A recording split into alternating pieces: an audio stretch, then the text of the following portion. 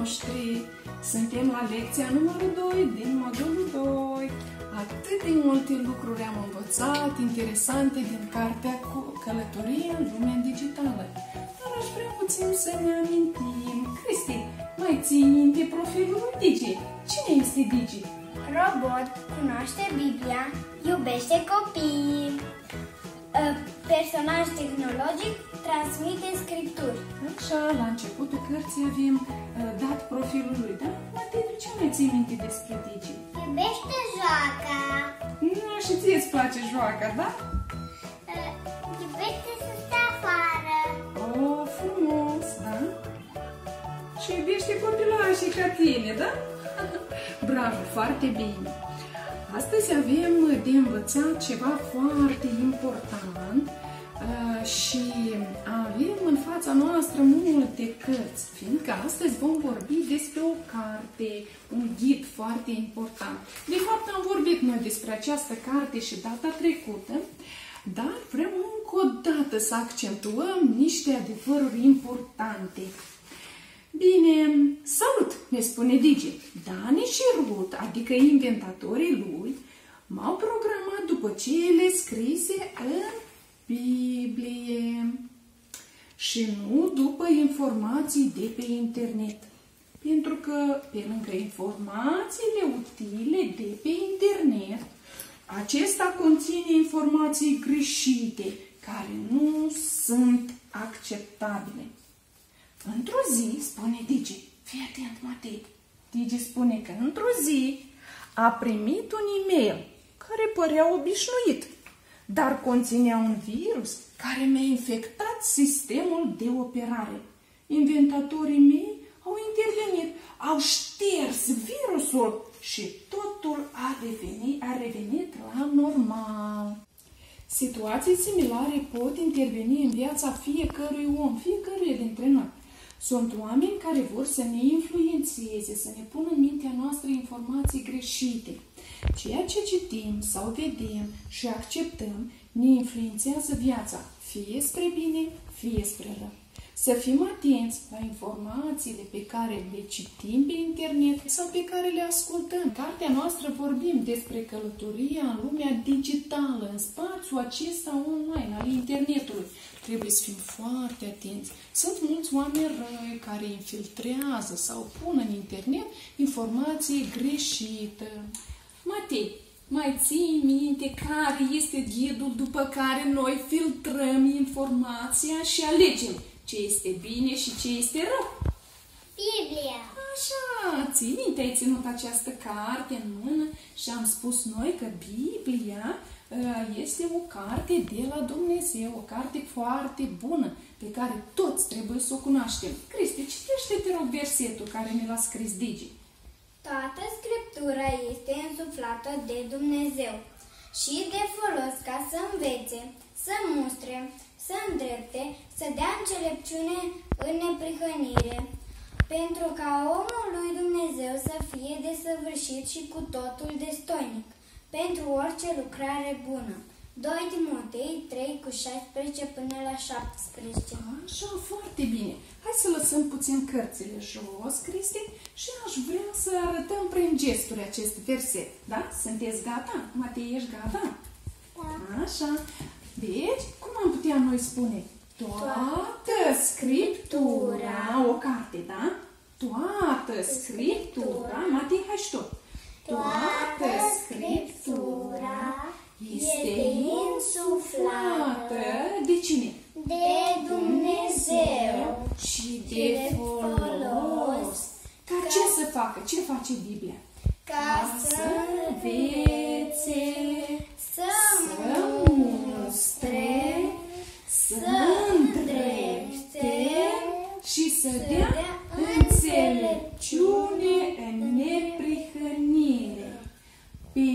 Pentru ca omul lui Dumnezeu, așa, să fie desăvârșit sau întreg, spune, întreg, complet, desăvârșit și cu totul destoinic sau în putere, da? Și cu totul destoinic pentru orice lucrare bună. bine. Hai să mai spunem încă o dată. Toată Scriptura este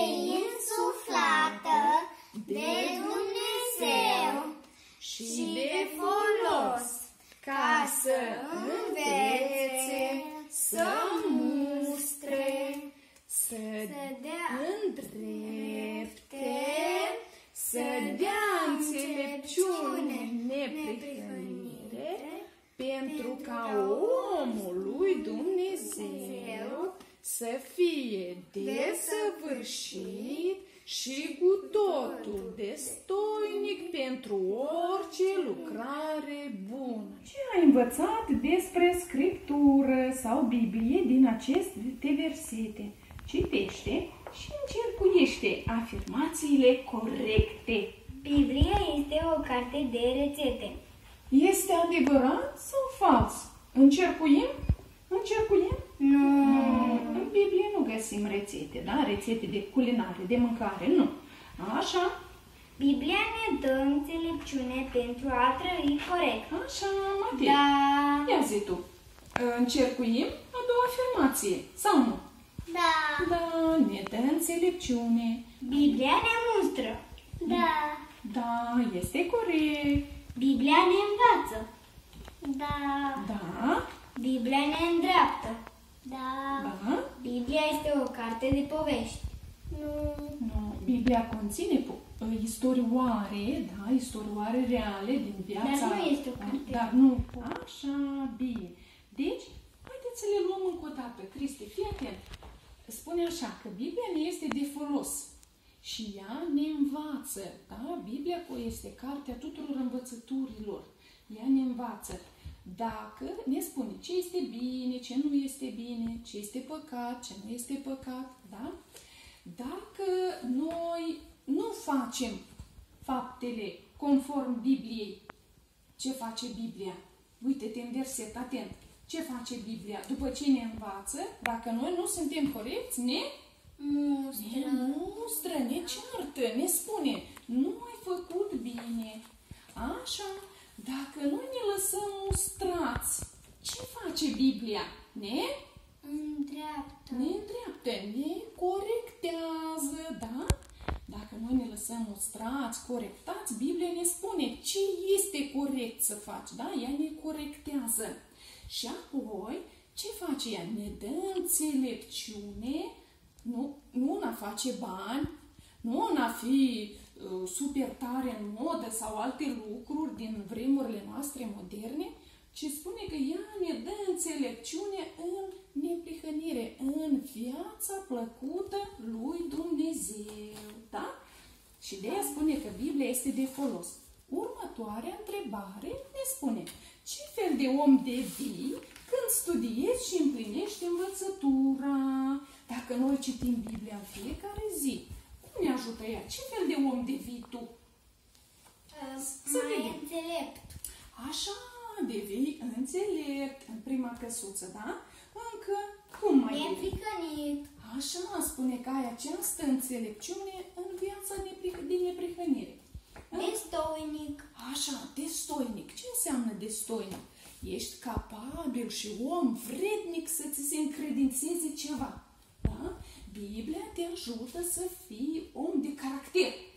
Și cei din jur să vadă și să spună, o, dacă eu i-am încredințat lui Cristi să facă această faptă, cu siguranță o duce până la capăt, fiindcă el este vrednic, destoinic, da? Și încă ce mai putem scrie? Spune, ce spune versetul? Omul lui Dumnezeu, da? Devii omul lui Dumnezeu. Ce ai vrut să spui, Cristi? Desăvârșit. Așa, desăvârșit sau întreg, un caracter integru, frumos. Așa, bine. Acum, Matei, uite aici, ce avem? Ce este acesta? Imagine. Like. Like și dislike, da? Așa, și avem o listă de afirmații. Afirmații sau informații pe care ți le poate infiltra sau da cineva. Tu ar trebui să ai discernământ, să știi ce este bine și ce nu este bine. Și acest ce este bine și ce nu este bine, putem afla din Biblie, da? Toate informațiile pe care ni le oferă internetul le punem lângă Scriptură, lângă Biblie. Fiindcă lumea ar putea să zică diverse lucruri că sunt bune, dar noi trebuie neapărat să le cercetăm, să vedem dacă sunt bune cu adevărat. Bine, hai să vedem. Cristi va citi, iar Matei va arăta like sau dislike. Bine, Matei? Hai! Poți să faci tot ce vrei. Poți să faci tot ce vrei? Dislike. Nu poți să faci chiar tot ce vrei, da? Uh, să fumezi poți? Nu poți, da? Deci, sunt multe lucruri pe care Biblia nu ni le permite. Nu poți să faci chiar tot ce vrei. Așa? Nimeni nu are dreptul să te pedepsească. Așa este bine. Și Dumnezeu vorbește despre pedeapsă, pedeapsa părinților și spune că este bine să o prețuim, da? Așa, bine. Omul a apărut de la maimuță.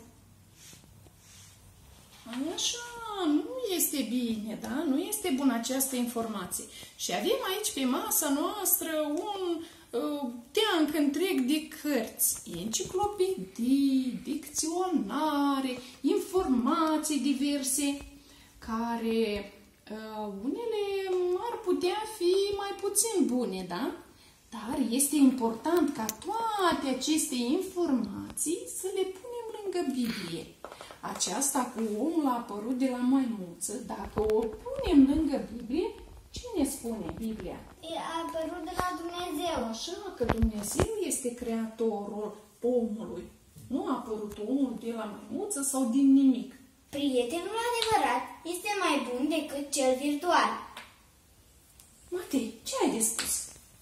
Prietenul adevărat e mai bun decât cel virtual, da? Nu toți care ni se dau prieteni în lumea virtuală chiar ne sunt prieteni cu adevărat, da?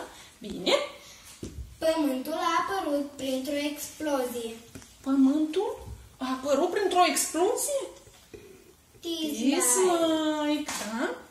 Așa. Eu singur pot să aleg ce să joc. Eu singur pot să aleg ce să joc. Jocuri cu împușcături, cu altă violență. Dislike, da? Nu singur aleg. Am fost sfătuiți de Digi. Sfătuiește-te cu părinții tăi, ce aplicații îți instalezi, ce aplicații vrei să cumperi, ce jocuri, da? Eu petrec timpul la computer cât vreau. Poți să petreci? Mm, dislike, nu este bine, chiar dacă unii spun că da, este bine. Noi le spunem că nu este bine să petreci cât timp vrei, da? Mhm. Că poate pe urmă să te doare ochii. Așa, după aceea poți să ai dureri de ochi, de cap, obezitate mhm, și multe alte lucruri. Bine? Hai! Omul a fost creat de Dumnezeu. Așa, like, noi am spus deja. Mhm. Tehnologiile informaționale sunt bune Dacă dacă le folosim corect. Și Like!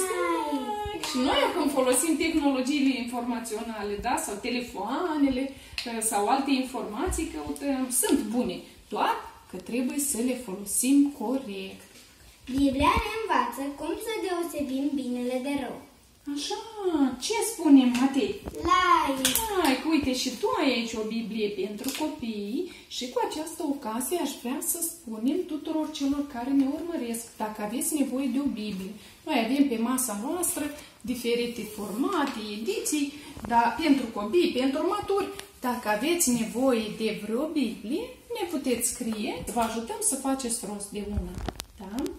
Așa, ai descoperit că sursa cea mai veridică de informații pentru viață este Sfânta Scriptură. Te îndemn să studiezi Biblia și să te păzești de informații greșite.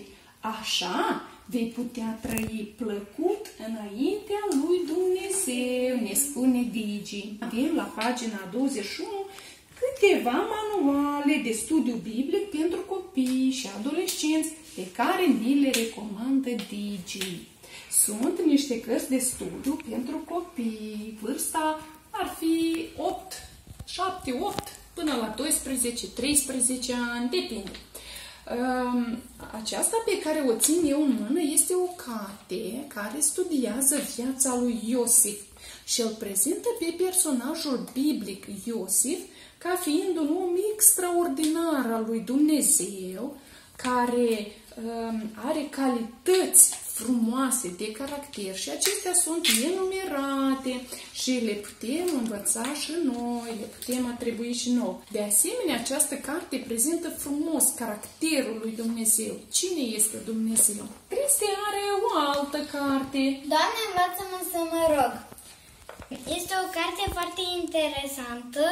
Am început să o studiem cu familia și deja am învățat foarte multe lucruri. Te învață cum să te rogi la Dumnezeu. Așa. Această carte studiază, de fapt, rugăciunea Tatăl nostru în detalii și explică foarte bine cum ar trebui să fie viața noastră de rugăciune, cum să ne rugăm. Pe parcursul acestei cărți, ă, copiii sunt, cei care studiază, sunt soldați în forțele speciale ale lui Dumnezeu, da? Și este da. foarte interactivă. Așa. Foarte cu Iona, cum Iona a înghițit peștele. Așa, a înghițit un pește mare. De ce, Matei? Fiindcă n-a fost ascultător de Dumnezeu. Așa, și noi ce învățăm? Ca să fim ascultători de Dumnezeu. Să fim ascultători de părinți. În această carte, copiii învață cum să facă singur o bandă de desene animate. Fiecare carte conține jocuri, rebusuri, crossword-uri um, și diverse activități, versete biblice. Da? Noi îndrăgim foarte mult această metodă de studiu biblic inductiv. Dacă și dumneavoastră doriți una din aceste cărți, ne puteți contacta, dar și Digi ne dă o informație. Pentru procurarea cărților, roagă pe părinții tăi să scrie la adresa și avem dată adresa. Suntem foarte bucuroși că am învățat multe lucruri frumoase despre Biblie și că, de fapt, aceste cărți folosesc pasaje întregi din Biblie, sunt bazate pe Biblie. Tu singur mergi și cercetezi Biblia, deci ele nu sunt rupte de Biblie, doar că uh, sunt folosite și alte activități ca să ne ajute să memorăm Biblia. Sperăm că v-a plăcut această lecție! Pa, pa!